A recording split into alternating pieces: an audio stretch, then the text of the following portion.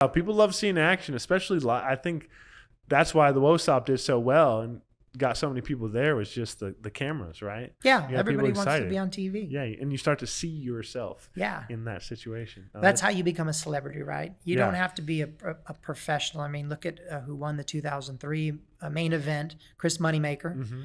Uh, an accountant, right? An accountant. He Yeah. used to play with his buddies, you know, in their garage, and you know hits it big. We actually had him at our club playing. Hmm. Uh, had a great tournament with him. That's cool. Yeah, super nice guy. Very personable. If you ever see him out there playing, he, he loves to talk to people about poker. So don't be afraid to say hello. Yeah. But you know, just an average Joe has now won a satellite into a tournament where now he's a millionaire. yeah. If he can do it, why can't I do it? Right. Right. Right. Um, I've played the World Series. I have not played the main event. I've played some smaller tournaments. I have yet to cash for some reason. I think I'm still getting my, still learning. It's a man. You not only do you have to be playing on point, but you uh, you have to get catch cards too. I've, I've I think I've maybe played like 15, 16 at this point. I played the main three times. yeah. Yeah, and that's uh man, there's nothing like that one. It's Yeah. it's it's a very juicy game. You know, it's way it's wild how how much juicier it is than the a thousand and fifteen hundred ones. Yeah. because it's the the main stage. The main one. Yeah. Yeah, yeah. Now, did you, uh, did you cash in any of those? Uh, I did. Uh, 2016 is like 300 or 350. I don't know, somewhere in the 300 Yeah. So uh, yeah, that was uh, it was is definitely. I'm obviously not pro, uh, but uh, it was a lot of fun. I got to uh, uh, sit next to Esfandiari. Oh, yeah. sadly on my left for one day. that was brutal. Oh man, there's this one. There was this one hand that I was in the hand. I was pretty sure I knew where he was.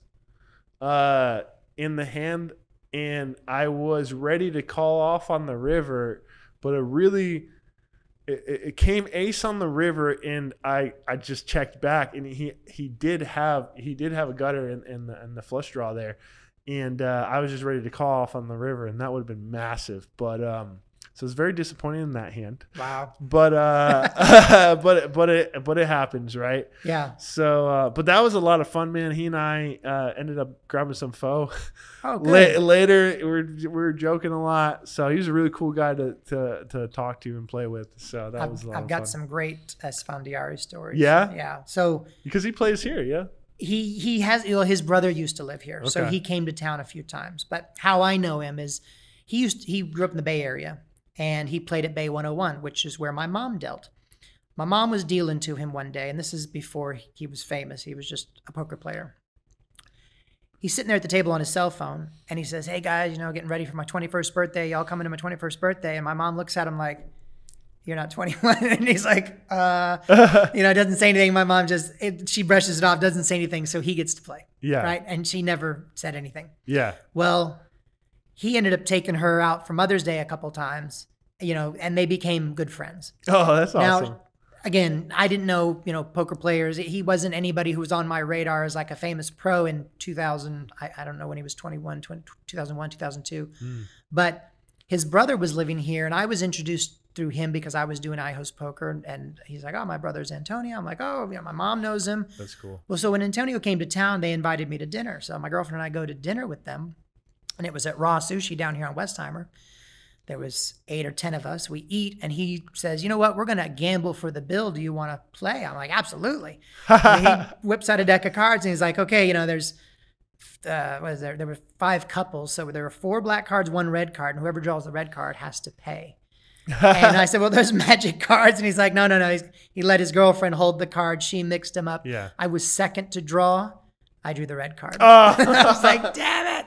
So it was, you know, it was cool. I'm buying dinner for Antonio Esfandiari because Yeah. you know this was, I don't know, this was I was 2008, 2009. Yeah. You know, so now he's an established pro, and I'm just like honored to be in his sunshine right now. nah, he's a pretty cool guy And yeah, he's super cool. yeah yeah He's super cool. I got to see him play at Bay 101 when he was in the Shooting Stars tournament. oh cool Uh, him and Gus Hansen palled around a lot together. Yeah. So, you know, I got to take tons of pictures with everybody who was anybody at the time uh, in 2004, 2005. They had a pretty cool show the two of them and I don't know how long it lasted but they were doing random prop bets on everything that they would see just randomly on the street. Yeah. Yeah, that was like one of my favorite shows because uh, I know uh, my buddies and I would just try to prop bet on whatever we could. Yeah. Uh, that was always fun. But speaking of paying for the bill, uh, one of my favorite one of my favorite trips to Vegas, I did almost everything free because we played credit card roulette Yes. every time on everything, and I and I and I just like basically just ran hot and didn't get my card pulled a single time while I was there.